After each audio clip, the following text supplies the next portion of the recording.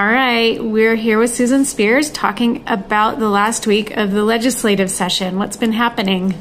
Oh, what a deal it's been this year. It's been the oddest session ever.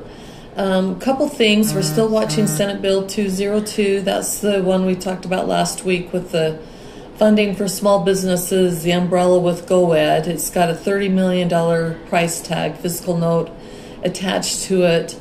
Um, as of this morning, it has passed the Senate. It's gone through the first reading of the House.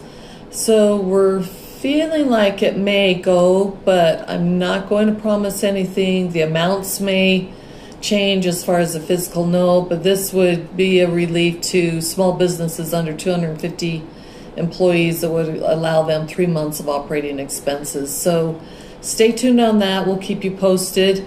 Um, we're still waiting on clarification from the Utah State Tax Commission. We've given you clarification on PPP loans. However, we have farmers loans out there that we need clarification on.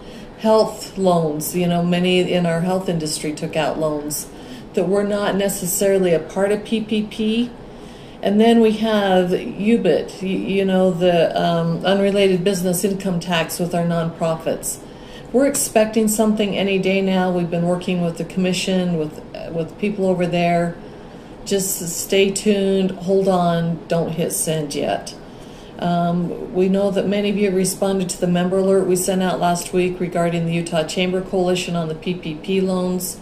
We still expect nothing will change from leadership, so make sure that you're doing the add back upon forgiveness of the loans. Session ends Friday night at midnight. So we'll do a brief recap next week, and in the meantime, everyone have a good week.